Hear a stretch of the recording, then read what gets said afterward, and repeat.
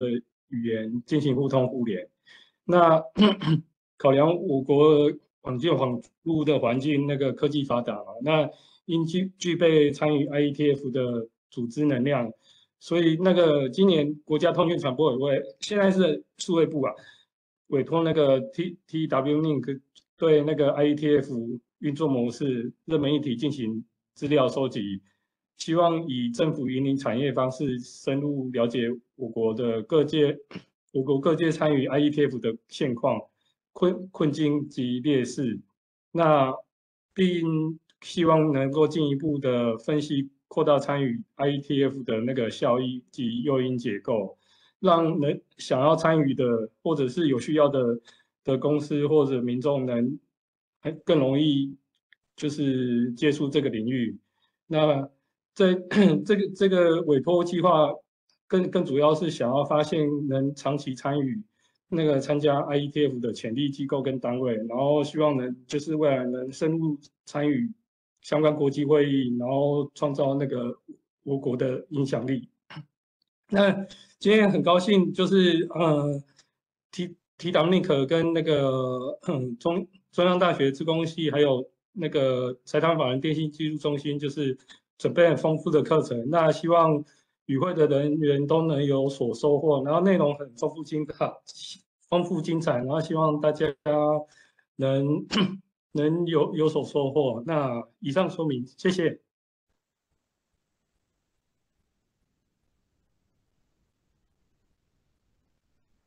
谢谢江正南记者的支持。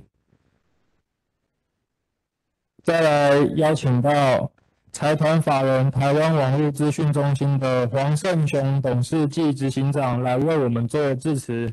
请大家热烈鼓掌欢迎。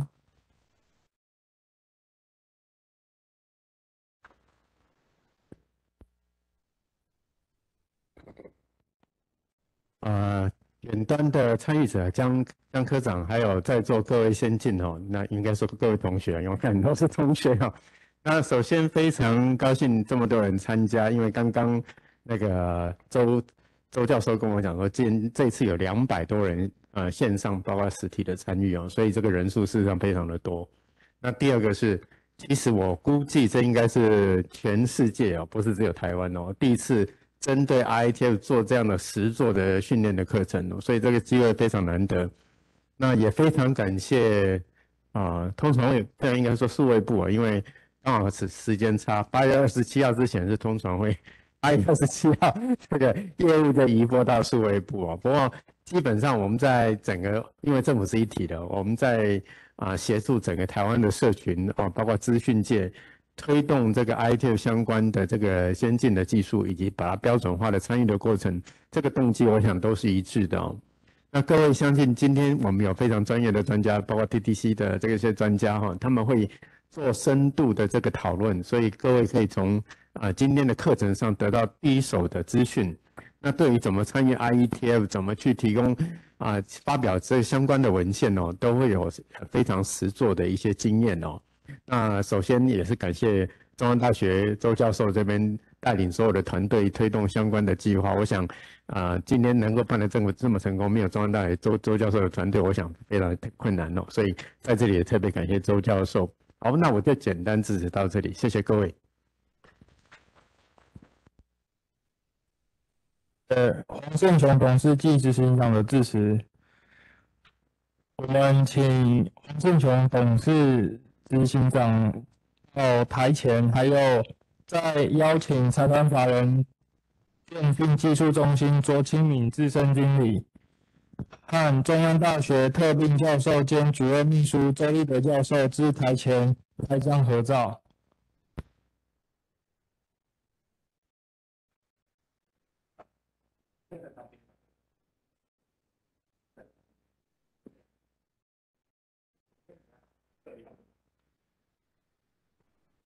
那个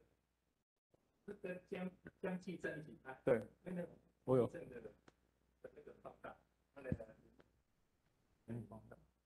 是，控是他们在控制。到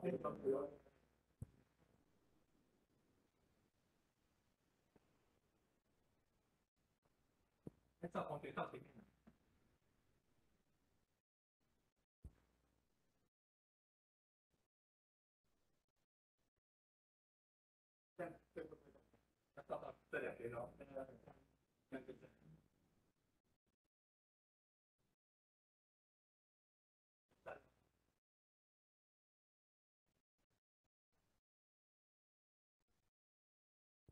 等一下，等一下，等一下，还有一个同步条的的的那个的背景。好，OK，那来，对，我换一下护墙背景。OK，好，再再再松一点啊。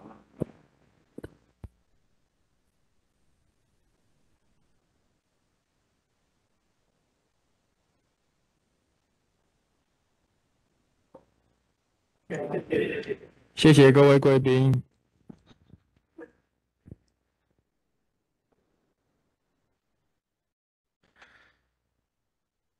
接着是我们第一场 IETF 的介绍，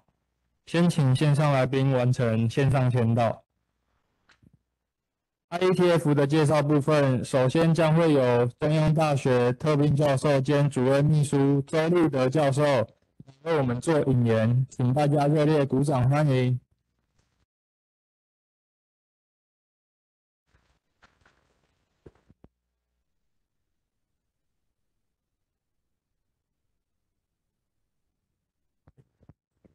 好，那个呃，在线上的呃江记者哦，还有我们现场的那个黄胜雄黄董事执行长哦，还有我们 TTC 哦的卓经理哦，还有我们现场的各位来宾哦，还有我们线上的哦各位贵宾哦，大家好哦。那那个今天哦，虽然我是要先开始引言哦，在引言之前哦，因为我是承办单位哈，所以呢，我还是要稍微在这边先简单跟大家报告一下哈。我们这一次呢，线上跟呃实体哦来参与的那个那个来来来宾哈，总共有两百八十六位哦，而且我刚统计了一下哦，来自一百一十个单位哦，一百一十个公司哦，所以呢算是盛况空前哦。那也表示呢，大家对 IETF，IETF 它其实在在课本上常常都看到，对不对哦？那大家在在平常用的 TCP/IP 也都在用。哦，它其实其实 IT ETF 它它它的各种 protocol 都是围绕在我们生活当中哦，但是它到一个什么样的组织，到底是怎么样定出来的，大家都不知道哦。所以呢，今天是非常非常难得哦，有这个机会哦，我们邀请到那个那个很多的讲者哦，来来讲这个议题哦啊，也表示大家怎样，大家是求知若渴啊哦啊，所以呢，我们这边要必须要先感谢哈我们的那个呃 NCC 哦，尤其在速发部。哦，还有 e d m i c 支持哦，那我们才有这个机会哦。那所以呢，我们这边呢，那个那个呃，要先谢谢他们哦。那我们接下来我们要讲我们的引言了哈，现在开始要正式讲引言了哈。那这引言的话呢，我们要讲到说 ICF 的目的、动机、诱因与机会哦。哎，你帮我操作好了，下一页。好，下一页哦。那我们就要就要先来看说呢，那这个 IETF 它全名是什么呢？全名就是 Internet Engineering Task Force 哦。那你知道它第一个 Internet 就是跟网络有关，对不对？网络有关，但是要跟工程有关，而且它是一个什么？一个任务的一个编组，OK，我一个任务编组，它里面很多 Working Group。那这里的话呢，它就告诉你啊，哈。其实这是 IETF 上面网站他自己写的哈，IETF 的话呢是一个一个怎样 loosely self-organized group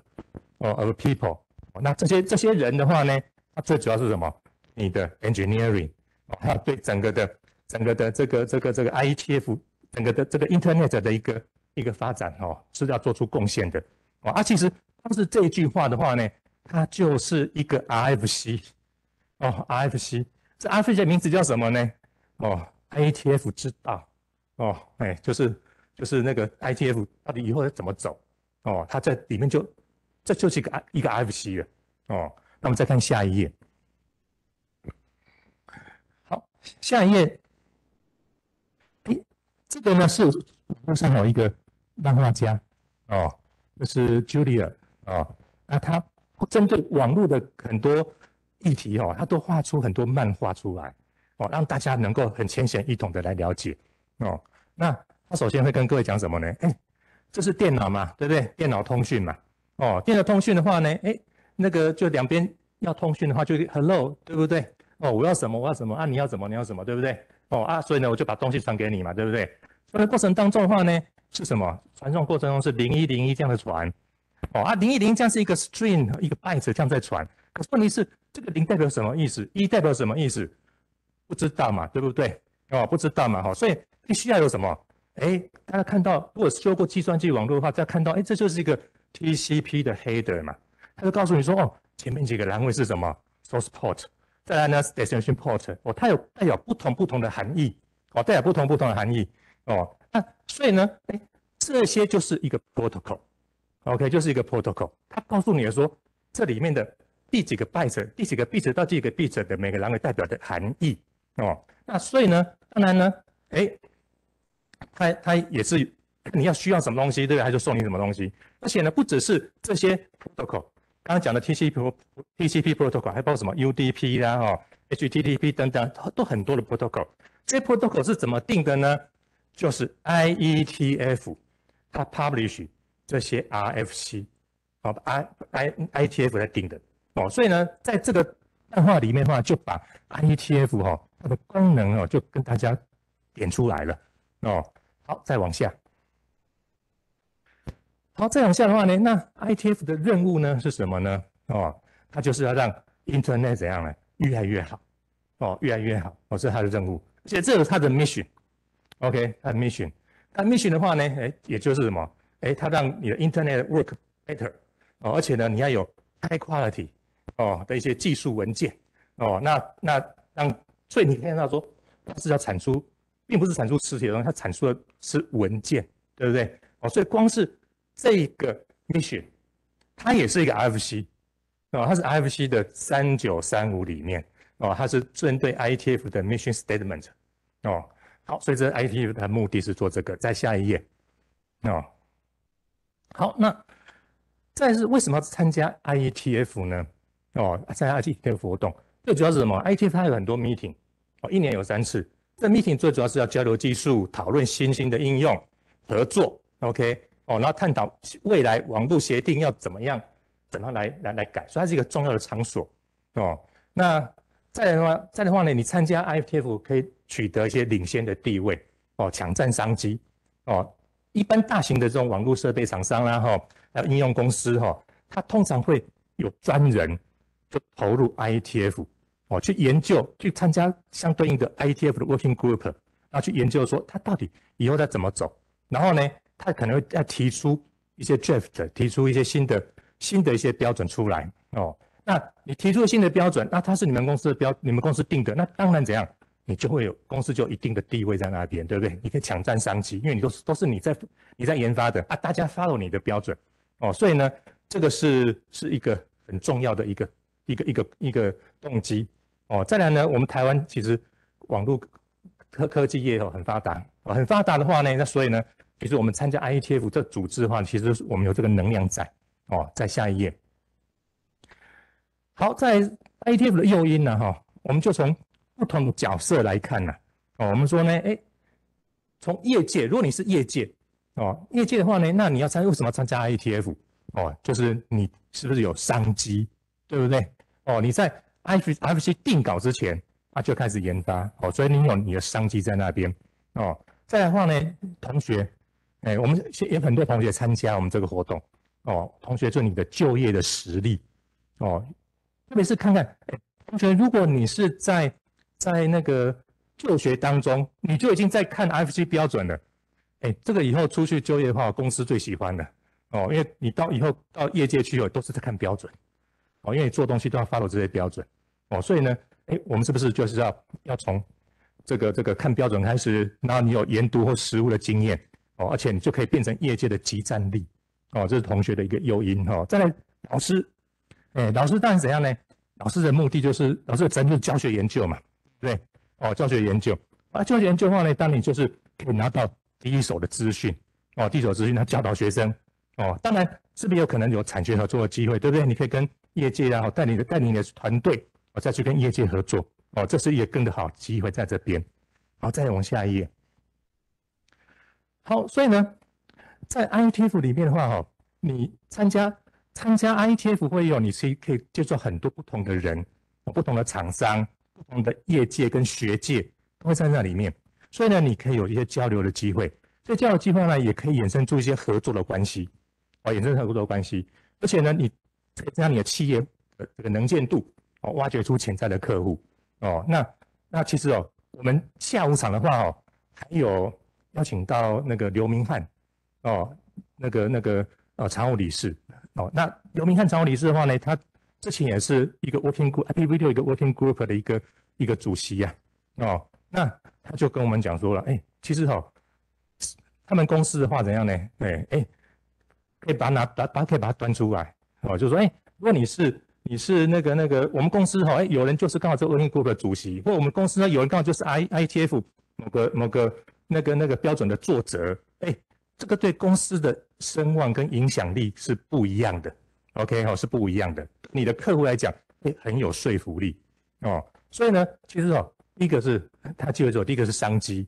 对不对？商机就是这个金钱嘛，哈。再来的话，怎样呢？可以让你的公司的一个声望哦跟地位哦能够提升哦，所以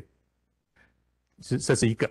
再的话呢，你可以找志同道合的伙伴，OK，志同道合伙伴哦，一起做某个事情哦，所以这是它里面的一个机会哦。那再我们再往下，所以所以说实在的话，那机会是很多哦。所以呢，我们这次的话呢，能够有有两百。多人哦，那一百一十家的那个公司、厂商、机构来参与哦，其实哦，这个就是这样，我们就是今年等于算是要开始往 IETF 扬帆的一年哦，所以呢，我们这边呢可能就要我们就要请这这个现在速发部哦，之前的 NCC 还有 T Dominic 哦，一起带领我们大家哦，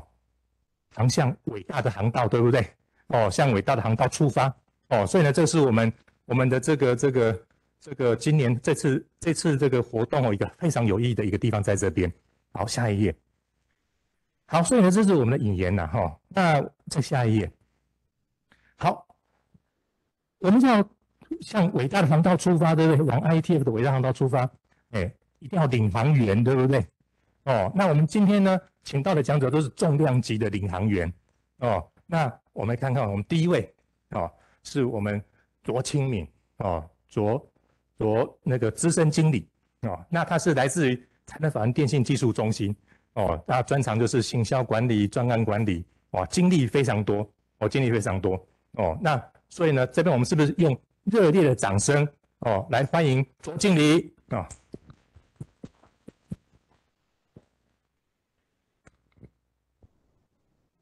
嗯，谢谢周教授的介绍，那个。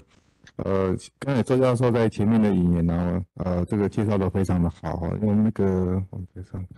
这个 IETF 本身在 Internet 的这一个产业跟这个技术上，IETF 就是一个，其实就是那个灯塔啊，就是个领航者。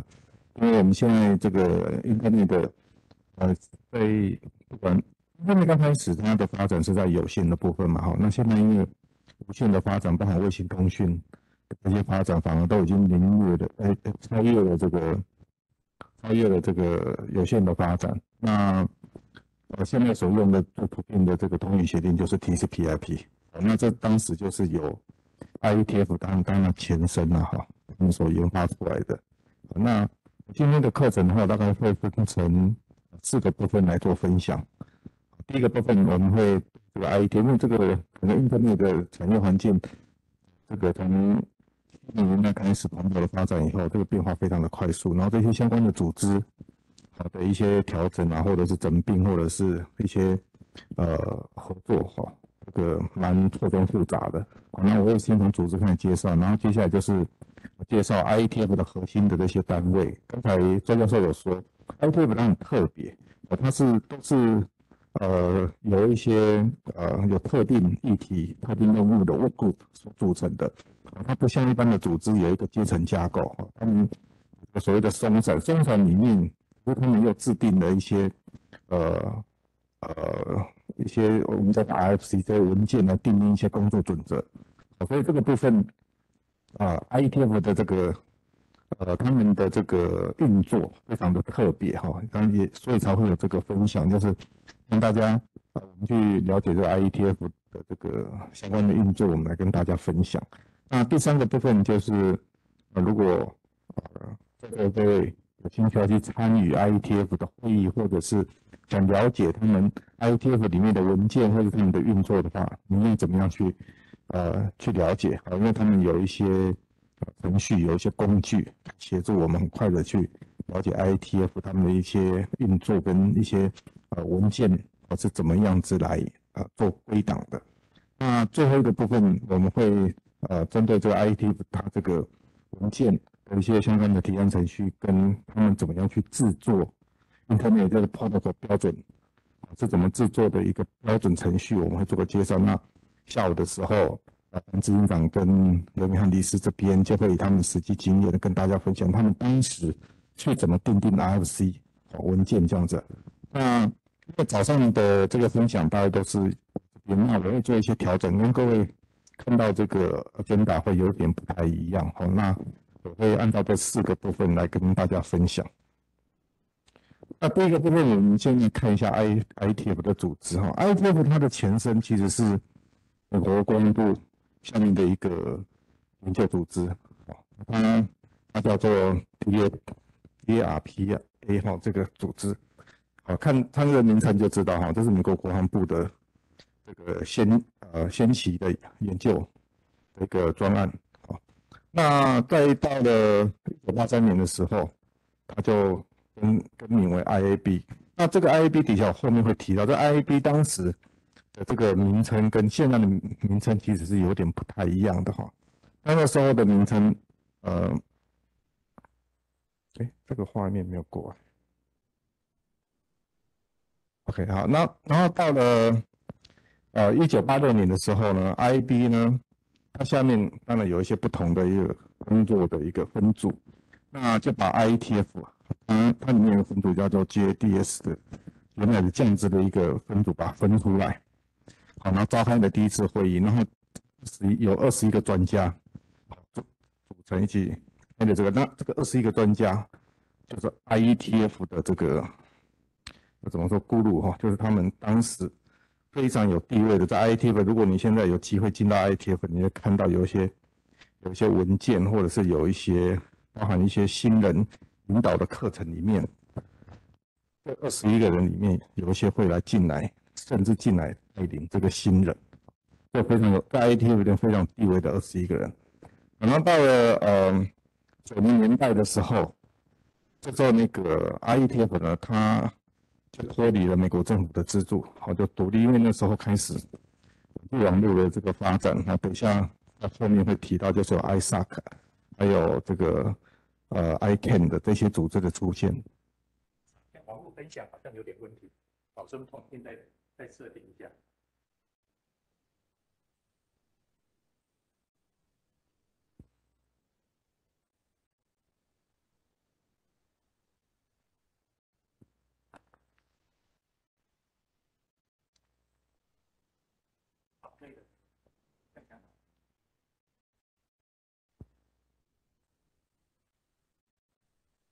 我继续哈，那在呃一九九三年这很重要哈，就是 ITF 它就已经脱离了这官方官方组织的这个色彩，它就成为一个独立的一个非盈利的一个国际组织。那这时候这个 ITF 变得非常的开放啊。然后我们刚才有有看到，就是他呃在八六年的时候，他们开了一个会议，那时候他参加了这二十几个人，然后呃在八零年代那时候参加的，他们他们每因为一开始是每季，哦都会举行这个大会，然后后来到了，如果没记错，好像一九九一年开始，哦变成每年会举办三场国际会议。那等一下后面就会介绍那个国际会议的部分。那他从八零年代那时候，呃，参加会议顶多就是一百个人出头这样子，哈，开始就开始成长，因为可能 Internet Internet 这个议题，呃，全球就开始注意了嘛，哈。然后的这个。啊，两千年那时候应该也是有那个两千年危机，哈，Internet 的那个千禧年危机的时候，他们其中一场在圣地亚哥的这个会议里面呢，高达两千八百人来参与，这是 ITF 的这个大会里面参与人数最多的一场。啊，那延续到，现在的话，大概他们现在的这个大会参与人数大概在一千一千出头，一千二、一千四，在这个之间，哦，大概大概是这样的一个人数。然后刚才周教授有介绍，国际级的这些资通讯厂商，他们都会来参与，而且他们很多都会参与这个文件的这个制定。那像 Cisco 啦、Juniper 啊，够哦，那包含呃中国大陆的华为非常积极的参与。那华为不止在这个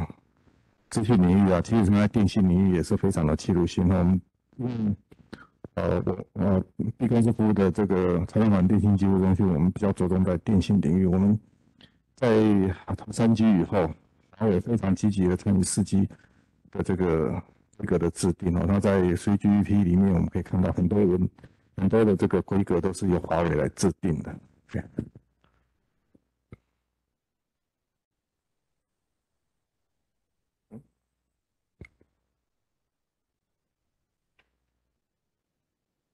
嗯，哦哦哦，要回去，嗯，回动，可以让视频。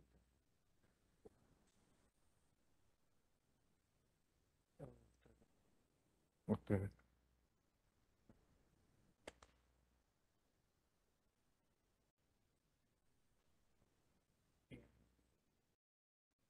多两遍，呃，没关系，滑鼠就可以。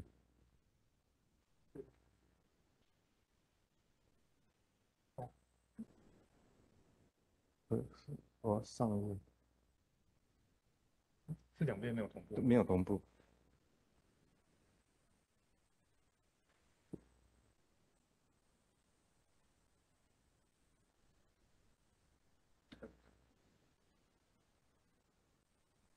有吗？这个有吗？有用。好，我现在有了，现在有了，OK，好，好，哦，没关系，还可以，还可以，还可以，OK。那刚才周教授稍微呃已经介绍了哈，那这个 IETF 呢，因为有一个叫做导 EAO 哈，就是在讲，这这这这个道应该就是怎么说 IETF 的一个精神，然后那它。就是呃讲讲述的就是 I IETF 的呃这个反正主要的目的就是要促进这个网络网络的这个全球化的使用啊，然后他们在这个技术上呃会呃一直在精进。那这个主要的目标就是这个所有参与 Internet 的啊，不管是你是一个 End User，你是一个研究人员，或者是呃，厂商，好，那他提供一个很开放的一个呃 forum 的这个论坛，啊，让这些啊对运动有兴趣的，不管是从业人员或者是专业人员，都可以来参与讨论。那他们会去呃，针对大大小小所有这个社会很广，你只要跟 internet 有关的 ITF 呢，都会呃都开放参与哈，就是你可以对这个整个环境。这个也当然还是比较着重在技术上哈，有一些问题啊，来啊提出来大家讨论，然后做一些解决方案。那 ITF 它有一点很很务实的，就是他所制定的这些啊 protocol 或者说发表的一些文章，他们会很在意一定要有实用性，而不是纯研究而已。好，所以 IETF 它这一点为什么呃？啊，这个全世界的这个大型厂商喜欢参与的原因，就是因为他们制定的不管 protocol，或者是他发表的一些包含实验性的一些呃呃技术的话，他们最终都是希望走到可以被实际应用。那刚才有跟各位说明，就是他们这个会议呢，有一个很大型的会议是很公开的，就是每三年会举办一次。那他他会呃有在欧洲、美国。也不是美国、美洲，还有亚洲，哦，这样子的一个呃方式去轮，哦，那我记得好像下一次是在伦敦，然后在下一次的话，就是会到日本的横滨了，哈。那之前的话，一场在欧洲，一场在美国，那呃我都有参与，我等一下会跟大家分享一些些我参与的一些心得。那 IETF 呢，它从一九六九年产生第一份，他们。IETF 产生的这个发表布的这个文件都叫叫 RFC 哈，就是呃 request of 呃哎他们吗？还是我有点忘记。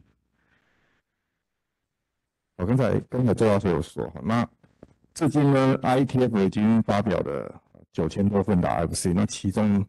大概有一百五十几份了，已经实现了目前网际网络上这个标准哈，就是我们现在跟他们在走的这些技术跟 protocol 都是 ITF 所制定的。那近期的话呢，最重要的当然就是 IPv6 这个规这个标准。在 IPv6 相关的呃这个呃议题呢，目前也是 ITF 里面呃探讨最多的哈，因为呃 IP IPv4 的这个这个不够用的话，那么要转成 IPv6 这样子的一个环境啊，那所以在二零一七年的时候，IETF 发表了这个二呃 RFC 二六四零的更新版本，就是八二零零，所以我们现在我们看到。呃，这个 IPv6 的这个呃标准，就在 IETF 里面的这个标准应该是 RFC 八二零零。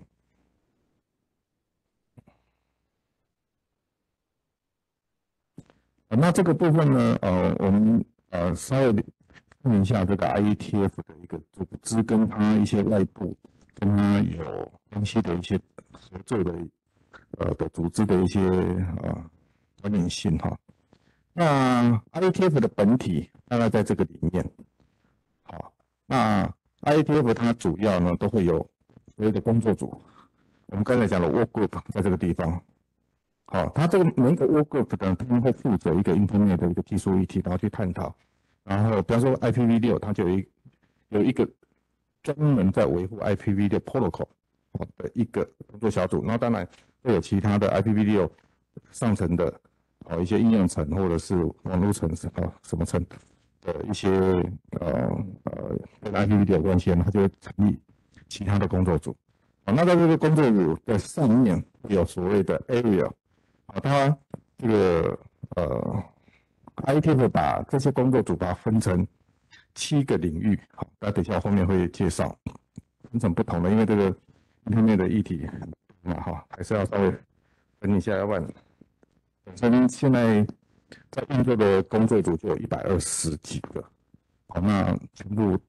要要做一些管理嘛，然后所以都要做一些分类，所以他们会把它分成七个领域。那上面他们会有一个叫做 IESG 的这样子的一个呃指导工作组，那会有这些呃 area 的呃他们叫 director 啦哈，area 的这个我们叫做领域理事，一起来组成，那。这个指导组会去审阅他们的工作组所产出的一些相关文件。那他们对这个工作组的文件经过了审核以后，他们会有一个编辑的一个制度。啊，在大概在这个地方。那当然，一个组织的运作，因为他们现在组织已经发展的很大了哈，那么多年，他们需要有一些行政上的资源。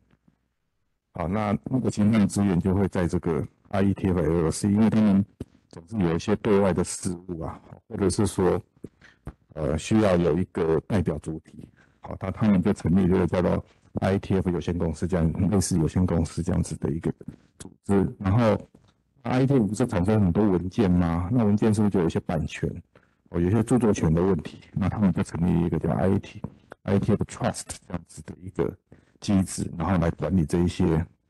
他们的相关文件的一些版权问题。那这里面，我刚刚有看到啊，有一些，有一些我们说，国别主席啊，那有这个哎，那有些组织上面的一些人事上，那这些这些人事是怎么产生的？因为他们有一个机制叫做 non-com 委员会，会来负责一些相关的一些人事的一些，呃呃，比如说提名啊，或者是一些任期的一些相关的程序，那我后面也会介绍。呃，那大概 IETF 它几个重要的一个组织的一个构成是这个样子。那它 IETF 呢，在上层有一个叫做 IAB，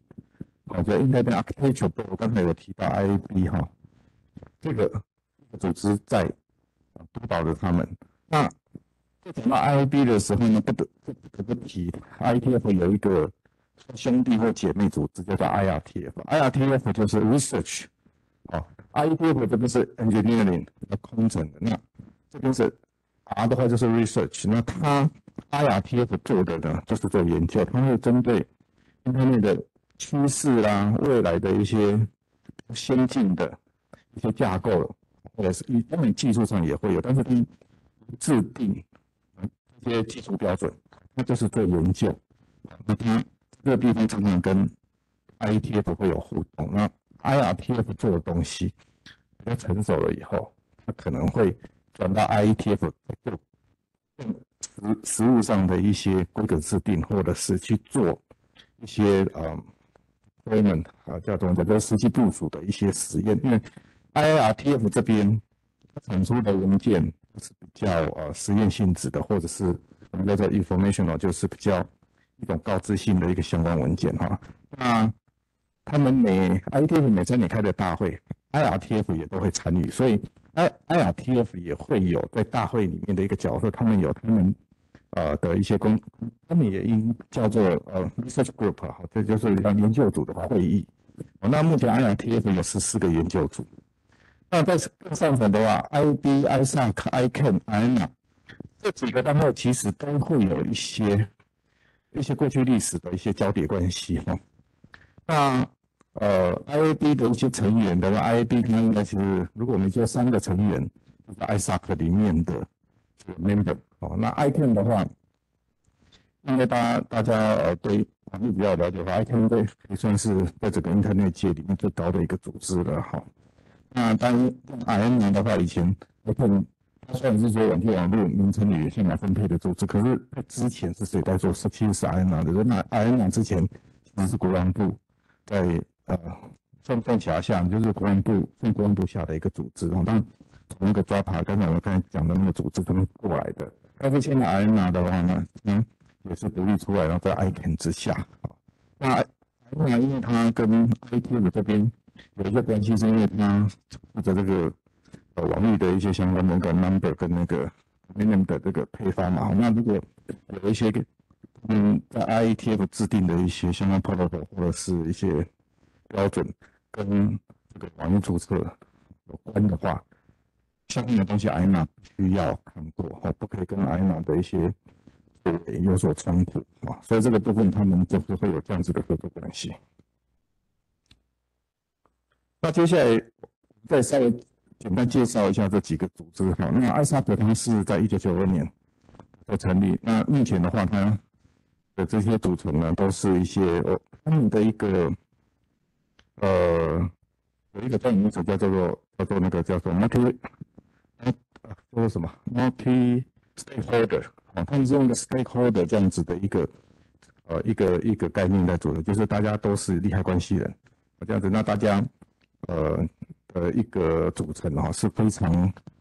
远，然后非常广泛的哈，然后呃。IETF 啊，因为 IETF 它本身没有什么呃盈利的的一个一个机制哈，所以它的这些资金都需要靠很多的国内，那它的一些呃跟其他组织的一些沟通，比方说它跟 ISO 组织，它跟 ITU 组织可能会有一些标准上面的一些合作跟一些需要讨论的地方，因为大家呃可能制定，因为现在资讯跟通讯。哦，这个领域越来越接近了。哦，那还有就是牵扯到所谓的国际标准的时候，那你跟 ISO 组织，啊，联合国的 ISO 组织可能就要有一些互动，不要大家印出来的东西是冲突的哈。那那那就会借由 ISAC 好的组织，比方说去跟这些相关的组织啊做联系啦，或者是啊大家合作这样子。OK。那艾萨克的话呢，他刚才有讲到所谓提名委员会嘛，好，提所以提名委员会很重要，对 I IETF 的这个啊组织应对人事的配置很重要，所以艾萨克呢，他具有任命这个呃 non-com 啊这个提名委员会的主席的权利。然后刚才前面讲的那个 IAB 的这个，算是他的 IETF 的最最高的这个督导委员会。这个主席，好，也是艾萨克啊，就这个任任命跟跟呃核决的这个权利哈，所以艾萨克算是有点像艾萨克是董事长啊，IOB 是这个执行长或者是总经理这样子的一个角色。好，那再也是艾恩娜，那艾恩娜呃呃之前的话其实是美国国防部啊这个下面的一个组织演变过来的，那以前。iCan 目前 iCan 的一些呃的一些相关工作其实是 i n a 在做。那像现在因为呃这个这个网络的这个呃治理精神哈，变成是一个比较开放的一个精神。那现在 iCan 那 i n a 的话呢，就呃呃算是 under 在 iCan 下面哈，替他执行这个很重要的哈，我们这个 root 这个网域名称跟 IP 还有 AS number 和这些资源的配发管理。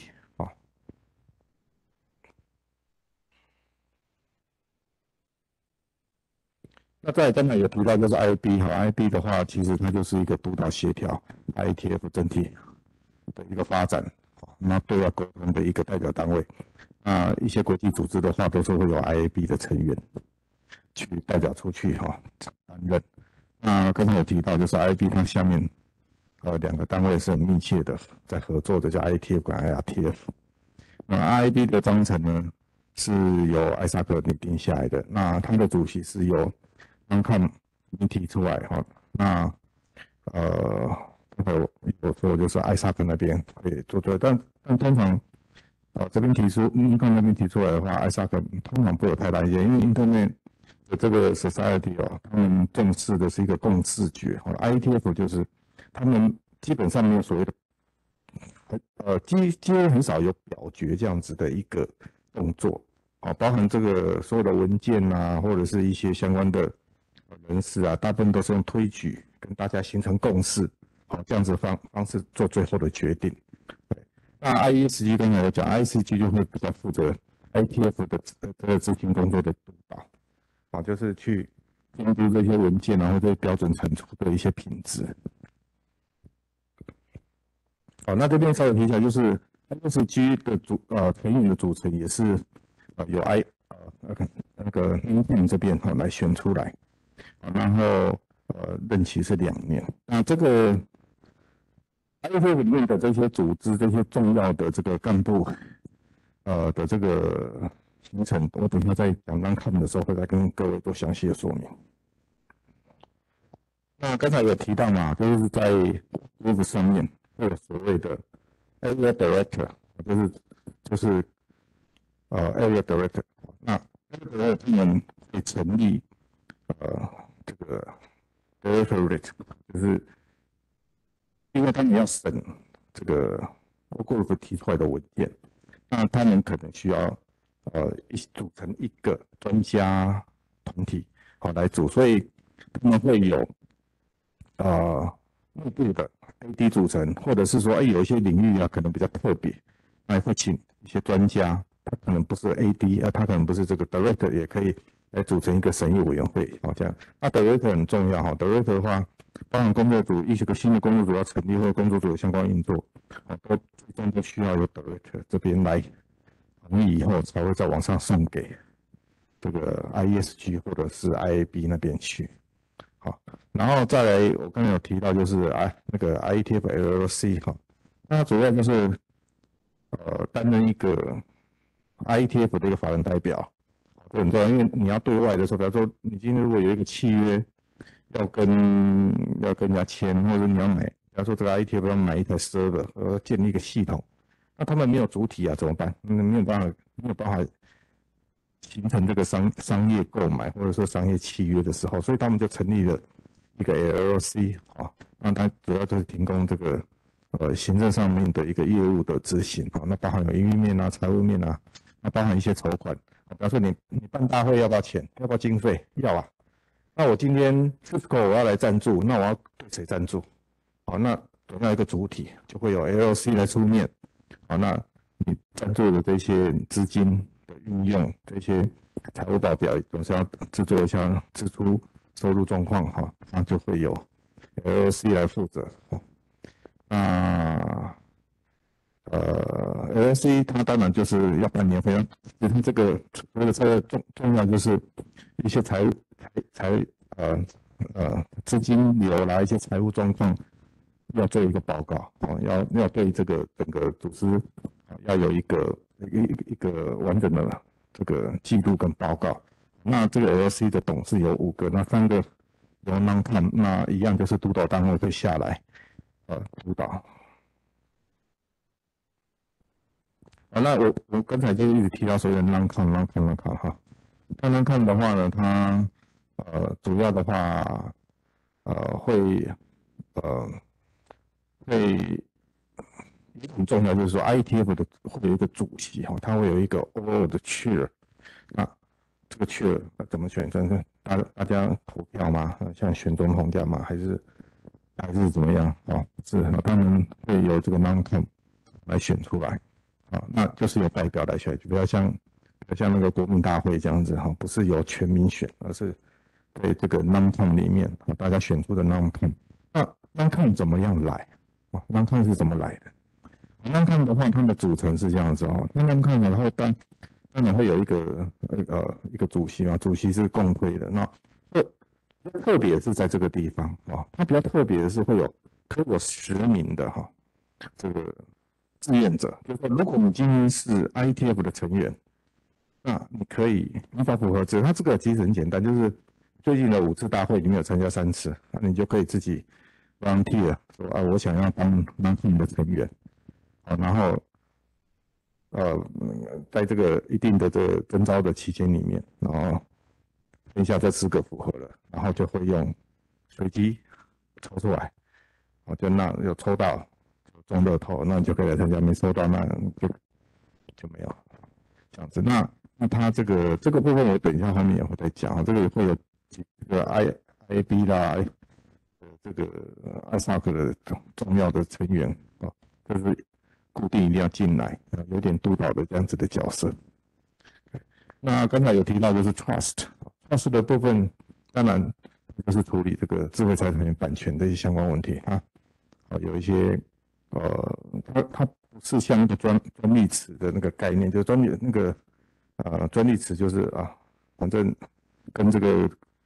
开发这个专利有关的人在这里面去 share 那个专利的一些相关权利义务啊，它不是，它是由所有的这些文件你来参与 IETF 的话，你所产出的这些知识权是 IETF 的，那它会有 IETF Trust 来进行管理。好，我我在这边要先讲一下难看嘛，因为讲了难看后面的一些这个人事的一些相关问题，大家才会比较清楚。而且如果呃在座的各位或者说呃我们政府有这个意愿要去参与 IET 的话，呃要想要担任干部的话，但等一下那个可以请教一下黄执行长跟。跟刘董事那边哦，他们是有直接参与干部这样的经验，但这里面当然，因为之前我我我有听过黄执行长的这个演讲，这里面有一些美感哦，你要成为干部，这都是这样，但是你要成为干部，还是有一些要怎么样美感，国有要怎么讲，有一些美感要要要去注意的哈，你的人际关系要很好，而且你的专业要够，才有机会成为干部哈，那。那看的话，他我刚才我刚才提到那个 IETF 他们的相关制度都是会有正式的文件啊，去去呃要怎么样去制定啊？那这些文件都是叫做 RFC 哈。那如果呃对这个 n 的这个制度有兴趣的，呃可以去参考这 RFC 三六七七啊。那这个里面，就刚才我有报告的。这个除了一名主席，十个志愿者，那会有这个联络人，就是从 IESG、IAB 跟 ISAC 董事会，好，他们会选，好，选派一名，好来参加 Noncom 啊，所以 NonCom 里面有重要的这些 IETF 相关的重要组织，好的代表，啊，还有嗯很重要就是这个十名志愿者，那这十名志愿者只要在五次的 I IETF 大会里面有参加过三次，好，那你就可以来。来参与啊，那当那参与的这个如果超过十个的话，就是用随机抽。好，那 non-com 这边呢，它会关系到我们刚才提的，除了 ITF 内部组织跟外部组织的这一些重要的成员，都会由跟他们这边来产出。当然，艾萨克董事有三有三名，那他为了为了为了这个，呃，这个什么有那个承接，呃，可以持续承接哈，所以他是每年选选一个，就不会有断层哦。他每年会选出一名，那三名哦，三年嘛，所以总共三名派驻到艾那个艾萨克的这个董事会成员里面去。然后再有就是 I I Q 的那个 LOC，就是那个呃法人代表的那个公司的话。啊，一样是任期两年，所以他选两名哈，一年选一个啊。那这个 IETF Trust 的话，因为他任期是三年，也选一个，每年选一个。好，那 I IETF 的主席，IB 的主席也是从 Non-Com 所产生的。那 I IETF 的主席跟 IB 的主席任期是两年。那 IESG 你刚才有提到，就是在 Work Group 上 Work Group 最最高的一个指导呃委员会这个地方呢。那它会有十四名的这个 I I E S G 的这个 A D 哈去组成，哦，所以它每年的话会选一半，因为它是任期两年，它每年选七个，好这样子。那 I B 的话，还有十三名，因为 I B 有可能需要用到表决权，所以是单数。好，它任期是两年，那一样不是每年会选一半，那对七个六个这样子在选。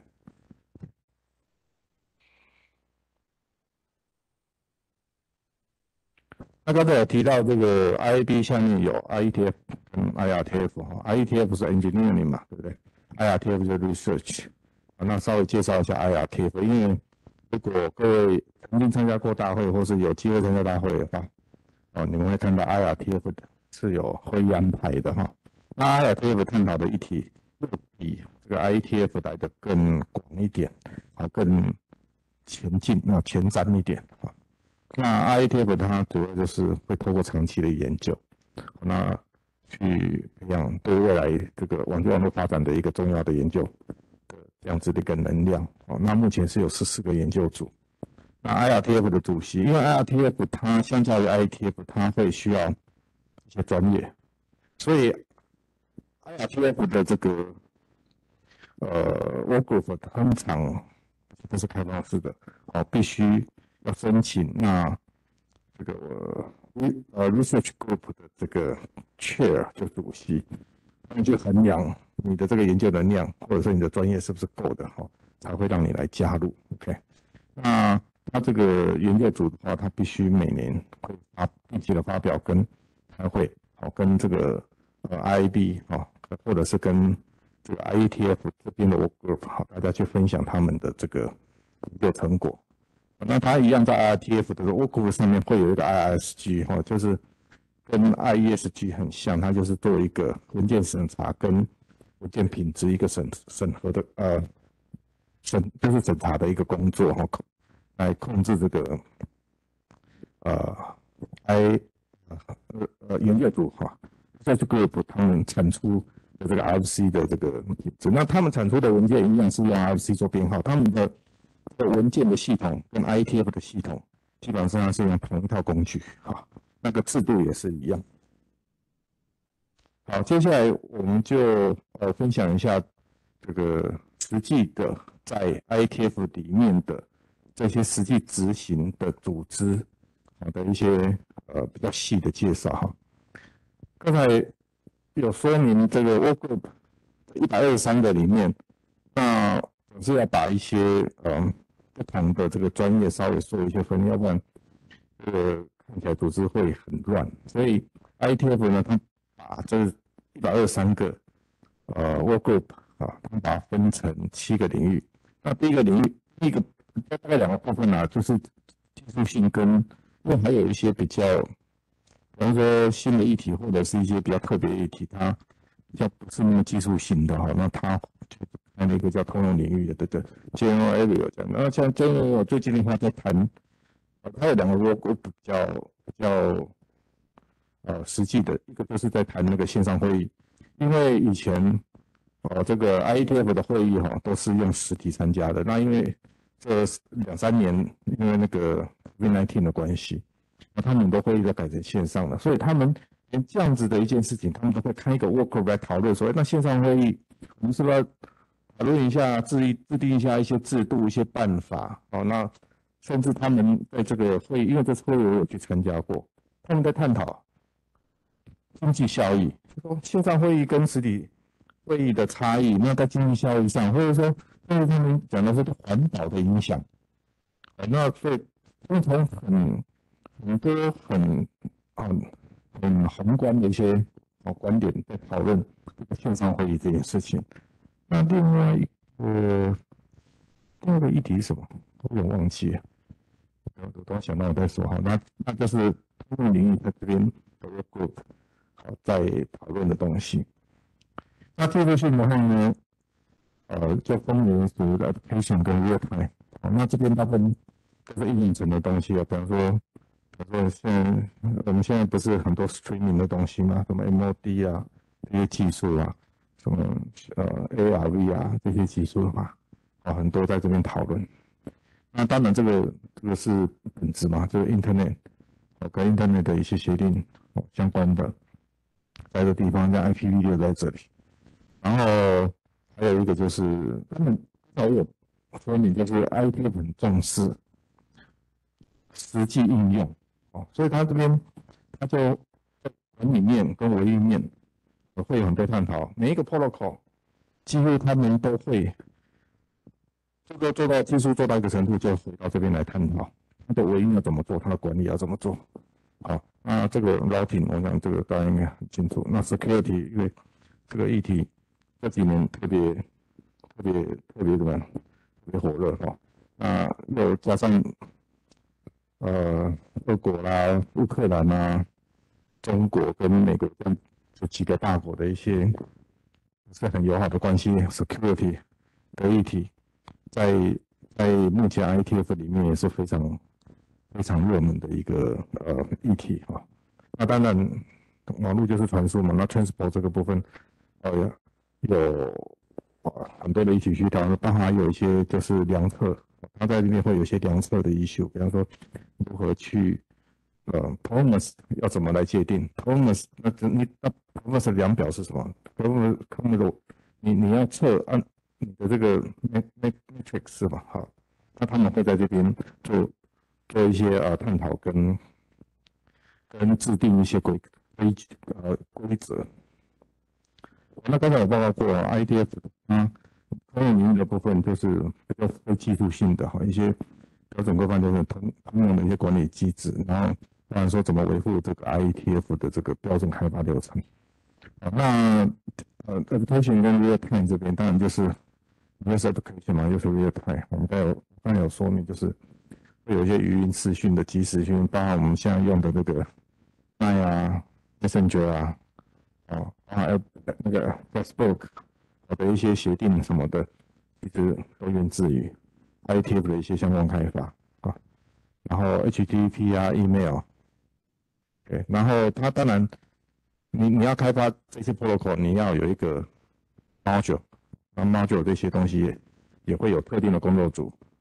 在啊进行研究跟开发。啊，就是 IPv6 嘛，哈，在 Internet 这个领域。嗯，DHCP 啊，VPN 啊，MPLS，好，那重重点就是这个在新的这个链路协定上面，这个 IP 的这个相关服务要怎么用？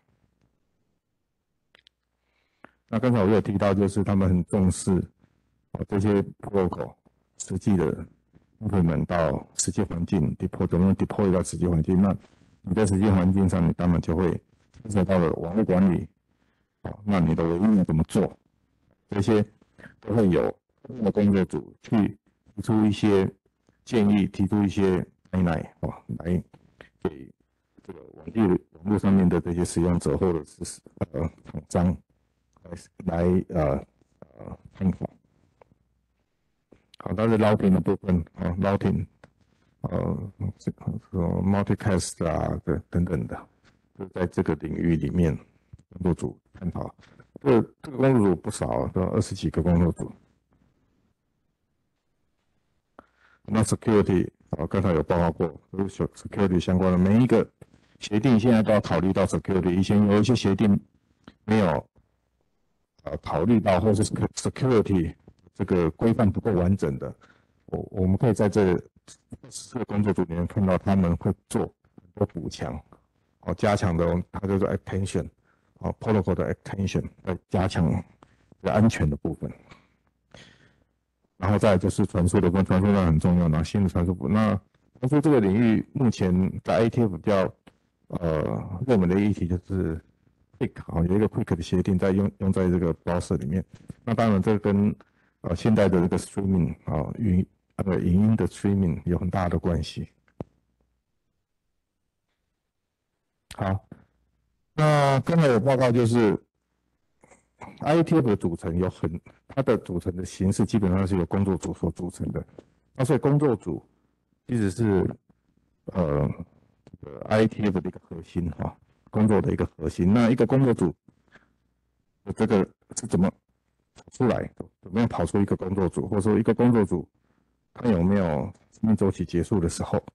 哦，当然有哦，这个议题都已经开发完了，它的目标达成了，啊，一个工作组可能就会关掉。可是呢，搞不好过了一阵子以后。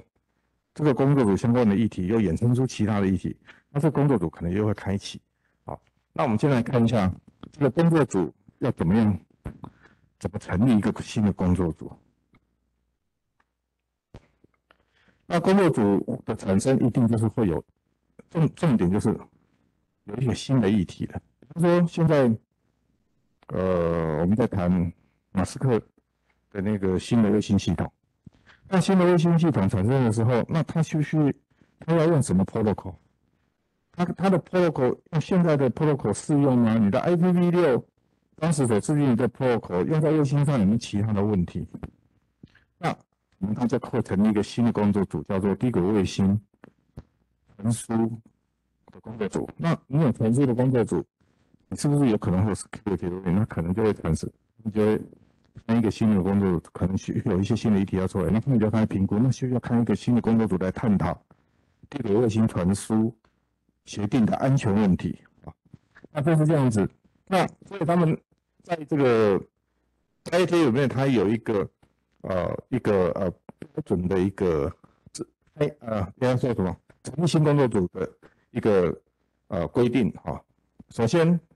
一个工作组的成立呢，它必须要成要要先去拟定它所谓的 charter，那个 charter 有一些规范，我等下后面会说。哦，那必须要你要很明确的去说明我为什么要成立一个工作组，它的背景是什么？那我的工作的 scope 就是我的工作范围是什么？我要达成的一个预期目标是什么？那当然最重要是什么？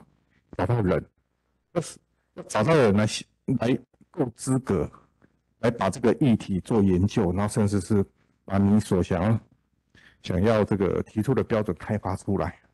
好，那所以你提出 chart 以后呢，你找到一个我们刚才讲的 director 来 support 这个工作组。好，那这个这个 director 呢，他会去指导这个工作组的这个呃工作的拟定。好，然后那达成共识以后，他就会提交给 ISG 审核。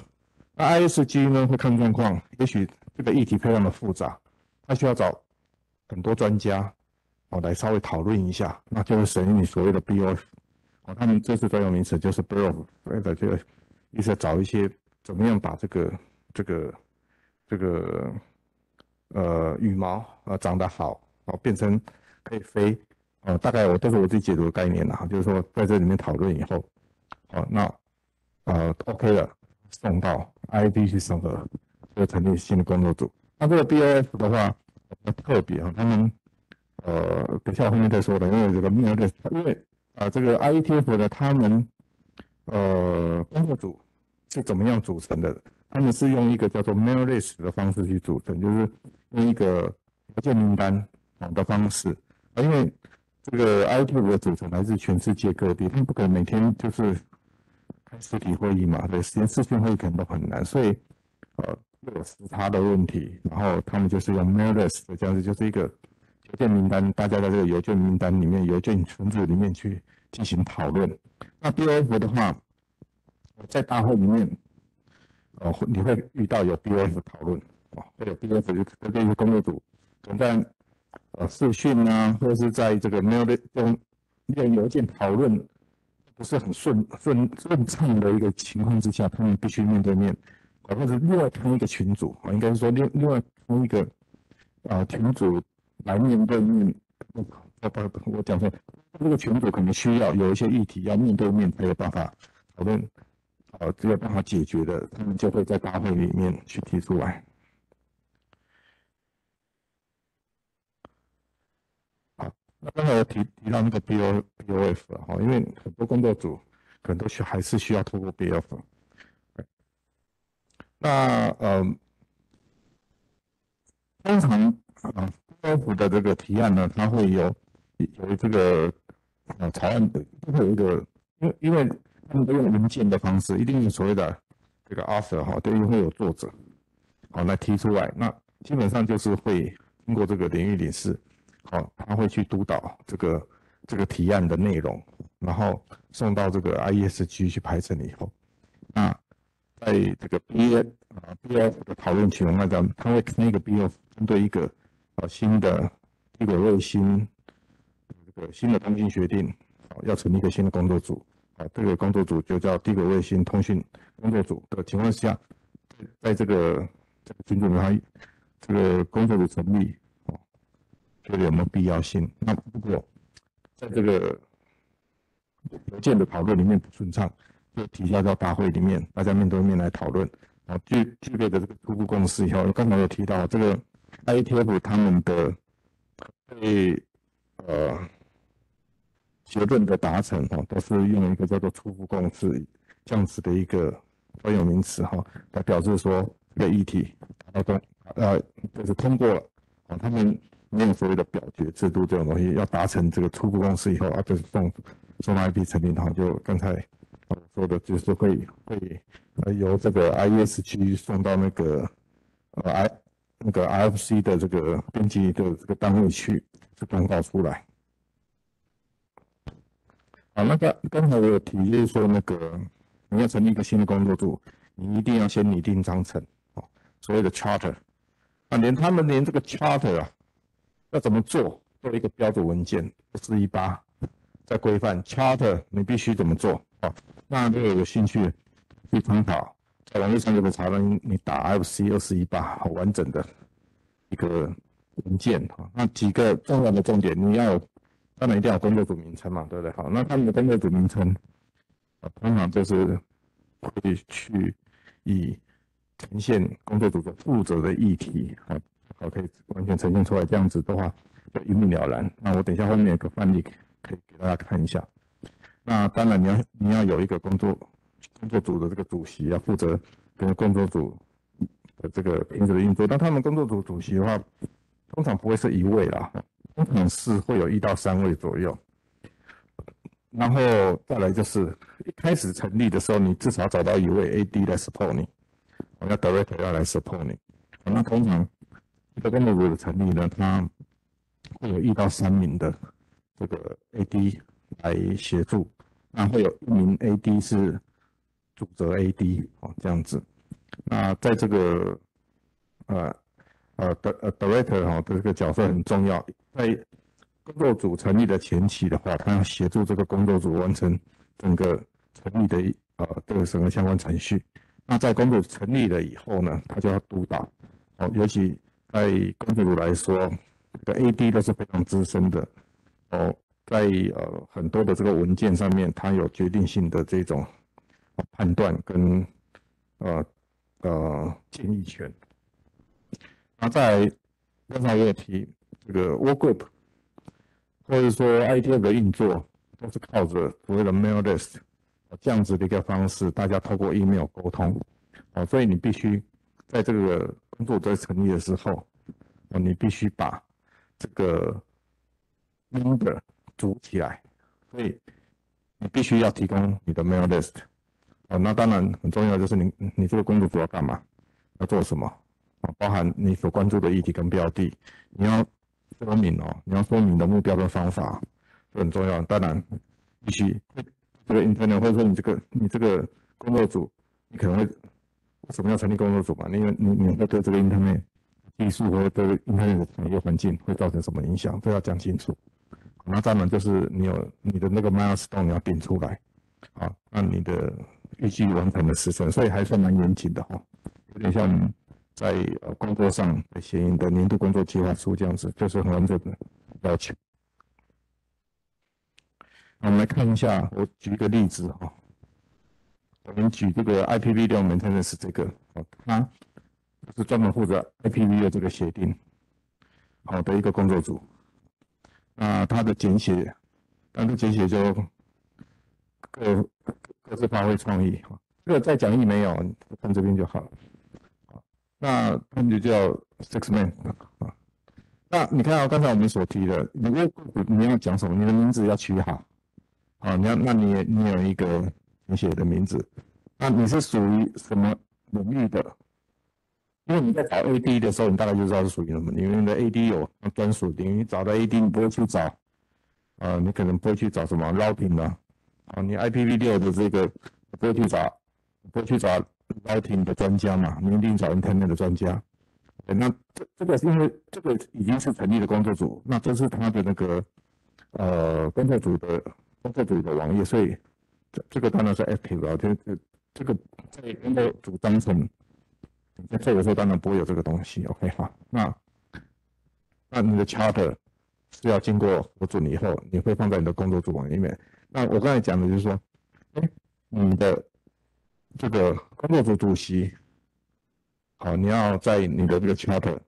要要要有你的这个 AD 好，你的 director 要有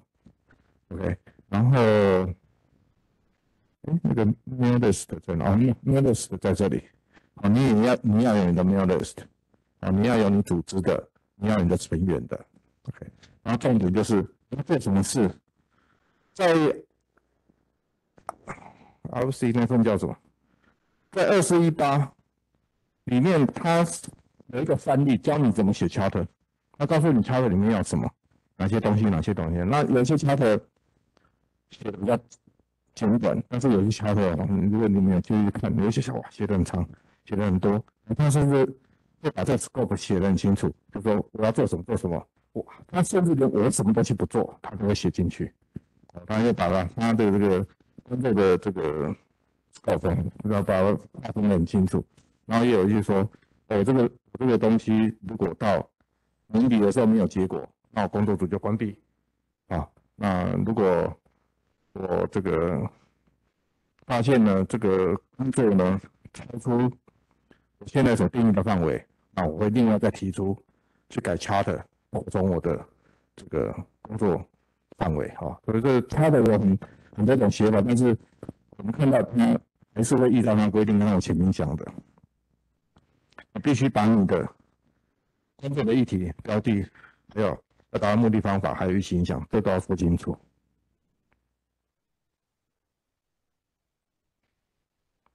好，那呃，这个部分我最后再讲一下，就是说工作组他们这个工作是怎么在运行的基本上工作组都在做一些 document，那么所有东西就是 document，要产出一个可以公告出来完整，然后给应用的环境使用的一个 document。好，所以。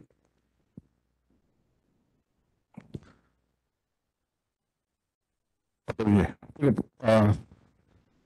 这个这个部分，这个不是工作章程的哈。这个这个流程是这样，就是你要参考你的工作章程，好，那你的文件呢会在这个工作群组、你的邮件群组里面会讨论，参与者会借由这个我们刚才讲的 mail list 去讨论，然后呢，这个 mail list 一定会有一个发起，哦，就会有一个作者，他可能是一个作者吧，或者是联合作者，比方说像。像洪执行长他们之前中的 RFC，他们是联合作者。那当然，在我们纸笔嘛，然后他们纸笔的那个会挂一个呃个人所谓的个人草案啊这样的一个方式，然后就丢到工作群组里面了。工作群组大家认同，哎，这个议题，这个大家群组都很有兴趣，然后它就会变成所谓的工作群组的一个议题。所有的文件的发起都会他们的呃一个专业名词叫做 Internet Draft，好，都会叫做一个草案。啊，那这草案有所谓的个人草案或工作组草案。你个人的话，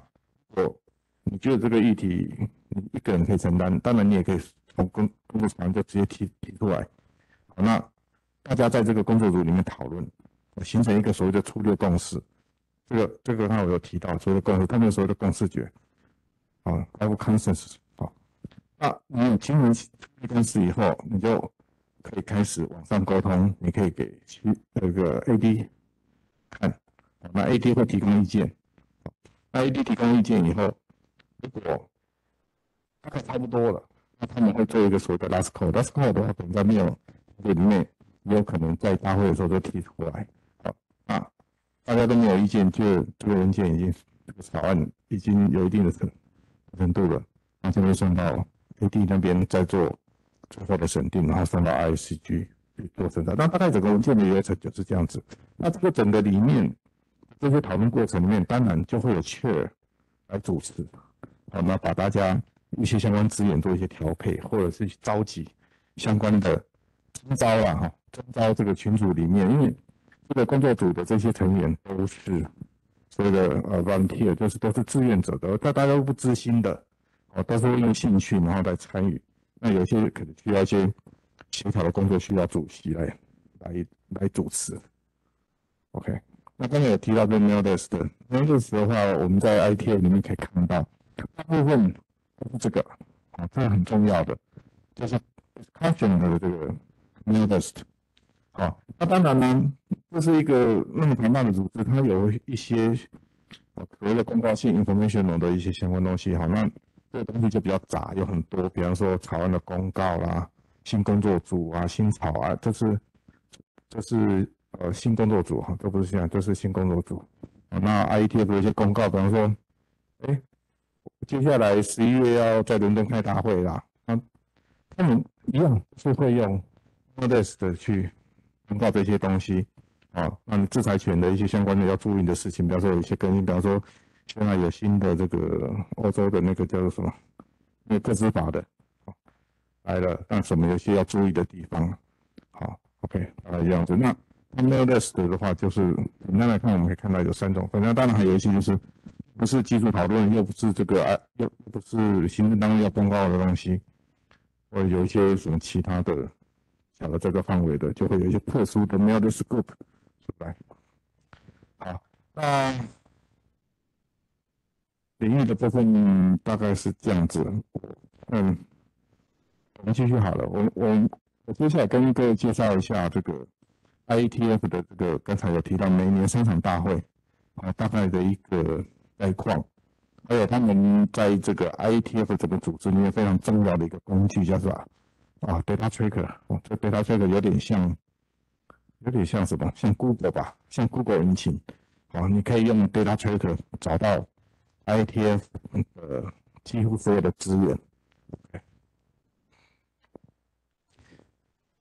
呃，我想参与在座有没有参加参与过 IETF 的？可不可以举个手？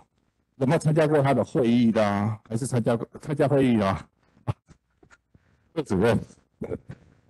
啊，那参加过他的会议啊，或者说参加他的工作群组，应该不多哈。那我我我其实也是，呃，这两年才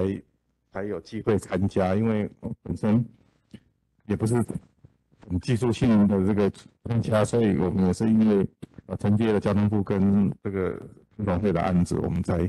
呃去去比较深度的了解这个 IT 吧。嗨，通常参加。第一次接触 ITF，我的了解应该都是参加他的大会，你不会一开始就去参加我我过我过的哦，你会先去参加他的大会，要了解一下他们呃这个整个 IETF 的组织的概况，或者是他们的一个氛围。那 IETF 你是怎么参加他的大会？OK，你进去 IETF 的网站首页，好，它就有一个 meeting。这样子的一个呃呃呃呃连接，而且他在首页里面能 promote 他的这个 meeting，他很欢迎啊外界人士来参加，哦各方人马来参加他的大会，好，那我以接下来要开的这个伦敦大会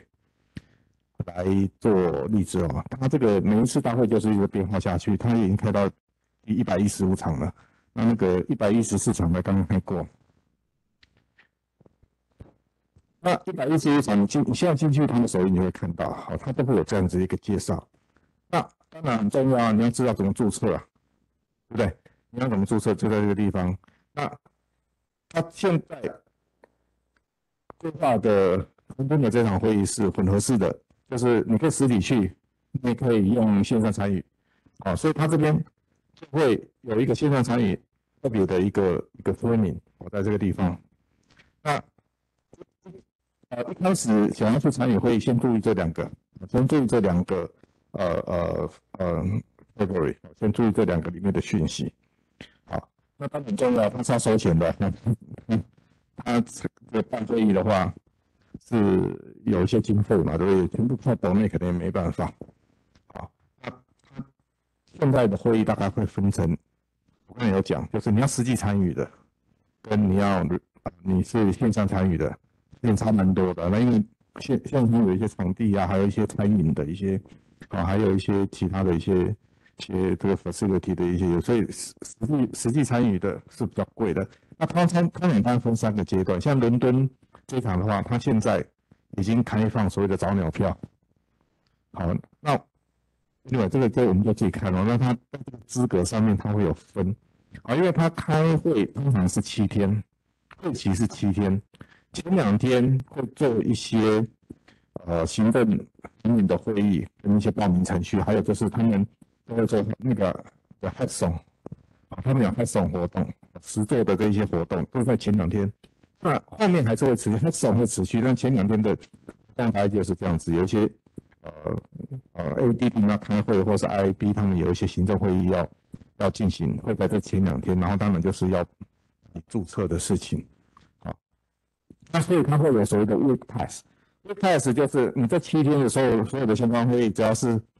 呃，非闭门会议的，你都可以去参加一些什么黑松活动，你可以这样，黑松活动还是免费的，就是不用特别别再去缴钱或什么，就包含在这个里面。那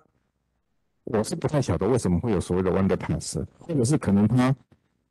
只很很 specific 参加某一个会议，某某某某个 work group 的会议，也许是这样子，所以呢，他就直接拿 Wonder Pass，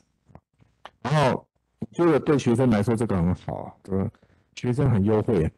那因为我们这今年的话，两次都要参加 remote，那学生才五十块，而且都不涨价的。你找买票，或者是你最后一个时间去注册，都是五十块。那个我想问一下中山大学，觉得您在买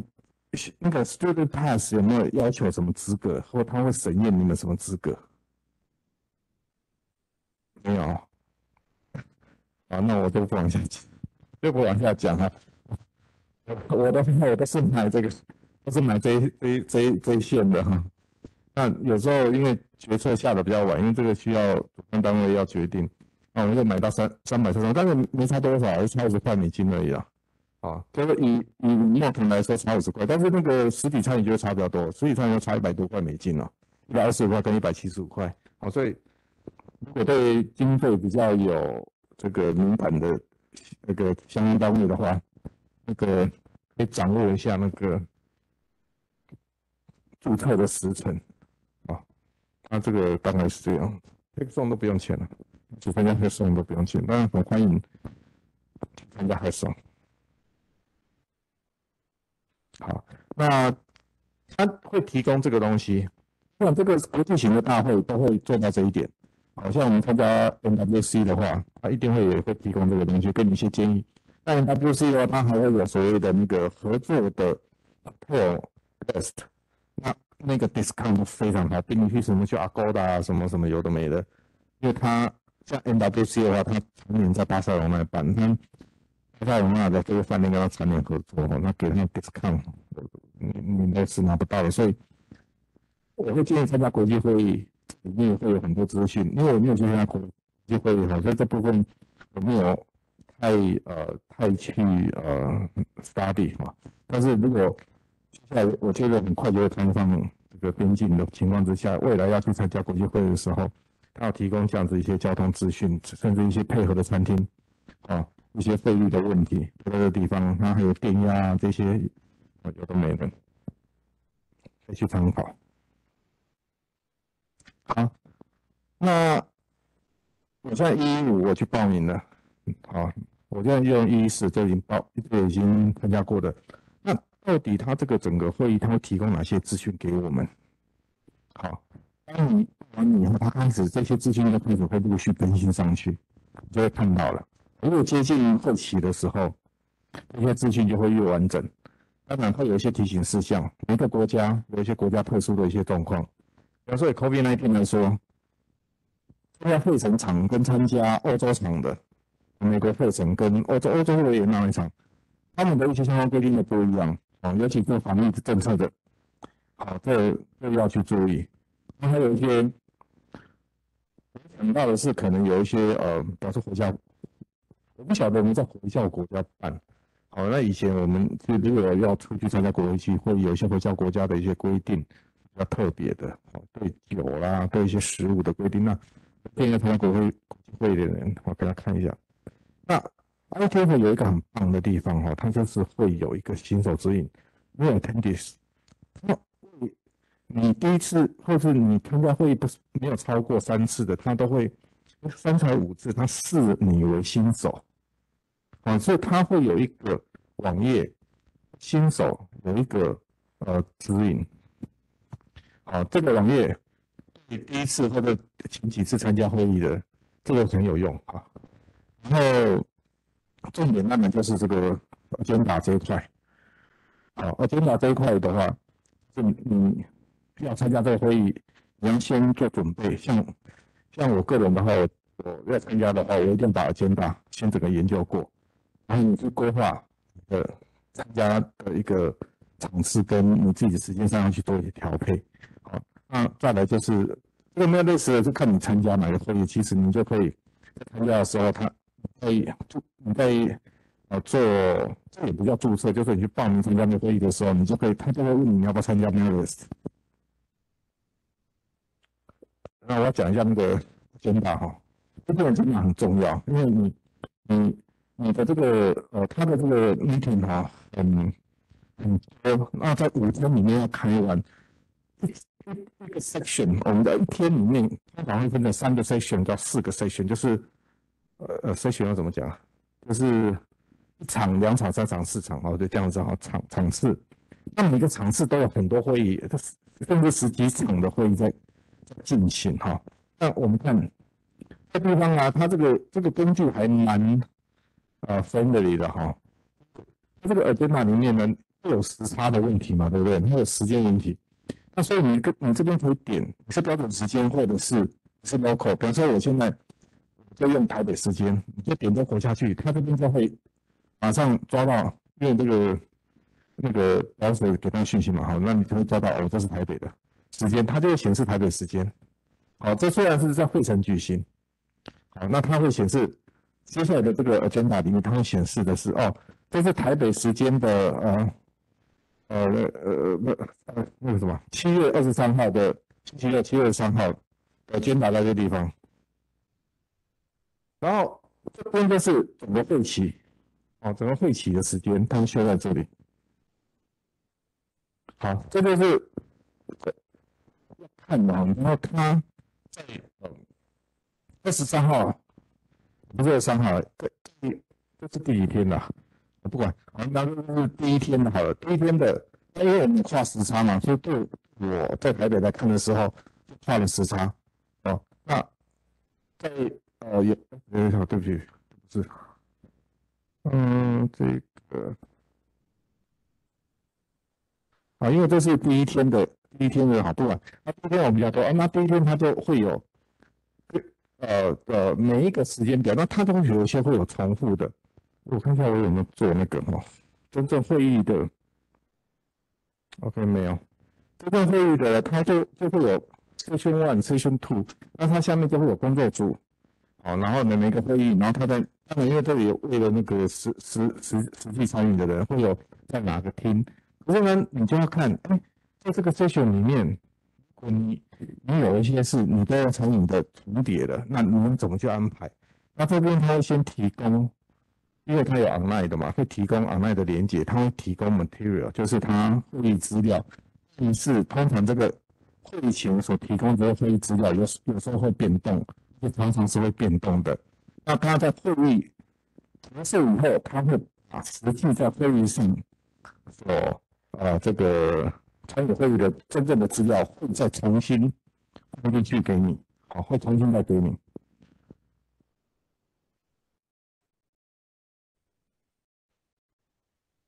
好，那这是我刚才所说的那个新手指南的部分哈。那新手指南部分很重要，就是说，他会介绍整个这个呃活动是怎么样，然后他会针大概会针对这个呃新手的话，有特别的活动，一些引导跟协助的一个活动。哦，然后他这里面有这个对 ITF 的介绍，然后呃一些。ITF 的相关资源，它也会更多，但那就是 ITF 它有一些工具，好，来协助你们去了解 ITF 的相关文件，或者说 ITF 的相关制度。那这部分，我会建议第一次参与的人，哦，这这个网页可以有很大的帮助。好，那这是 Hexon 的那个介绍。如果要去参与实际的这个呃实作活动的话，它会有一个专属的一个网页，然后包含过去。今的 Hackathon 活动它会有记录，有兴趣的人可以进去看他们以前的活动怎么进行的。好，然后我很快介绍一下，我们参加那个线上会议的时候，他们开发了一个呃专属的叫呃呃 Meetup 的哦这样子的一个呃软体，跟我们在用的这个会议软体都不一样，但是这个软体其实写的很好，我我我个人觉得写的很好。啊，然后呃，开会都会呃用这一个这一个软体啊，也不用当网，你看网络都可以直接连进去。然后他们的程序其实呃有一定的一个标准程序，一开始的话会先做所谓的呃主席的这个工工作，应该说主席时间了。那主席时间呢，当然那前面他要先去做一些 announcement，都是一些。重要的会议的该注意的事项或怎么进行哈，甚至这个工具的使用，他会做一些那什么，然后重点就是他要跟大家说明今天开会的 agenda 是什么。好，那以这个盖亚的这个这场会议来说的话，好，他因为这个是研究组的会议，那所以他大部分都是专题报告。好，那你就看到这边的专题报告，然后甚至他后面会。啊，有一些工作组他们会很明确的把时间，就说你你这个筛选，呃，你这个主题给你五分钟，这个主题给你十分钟，要排好。那去参加 I T 的会议，我觉得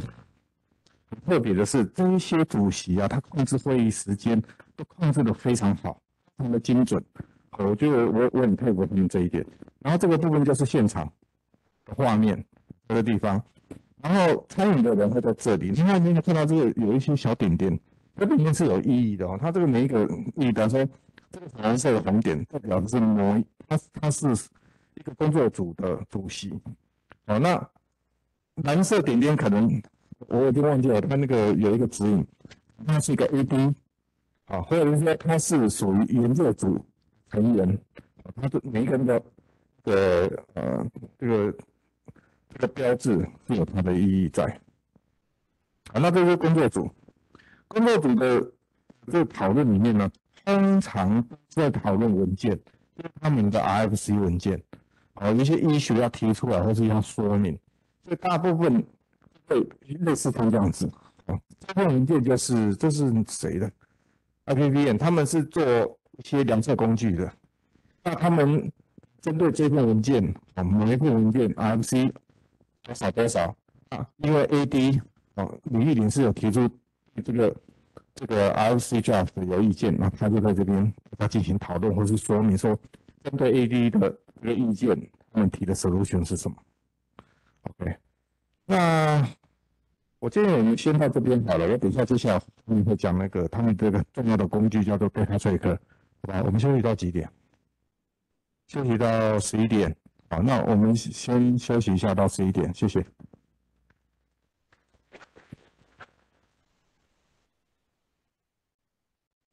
谢谢周经理的介绍。早上第一堂课到此结束，我们先稍作休息二十分钟。期间我们准备了餐盒作为茶点，请至教室后方进行领取。谢谢。好，这边也先再报告一下哈，就第一个呃，现场的来宾哈，如果你们要无线网络的话，旁边那边就写他的无线网络的密码，都在墙上墙壁上哦，这是一个。第二个的话呢，请大家呢就线上的来宾。哦，请你们记得要线上签到，哦，线上签到哈。那我们里面有一个视讯的画面，就是就是那个签那个签到的 Q R code 哦。那记得线上签到。啊，另外的话呢，我们呢这个也会有一个问卷调查，每个问卷调查哦。那那那个只要是呃你有签到，而且又完成了满意度调查，我们就可以参加我们会后的一个抽奖。哦，那这边也先跟跟跟各位先预告一下。好，以上谢谢哈。那我们十一点钟再回来。好，谢谢谢谢。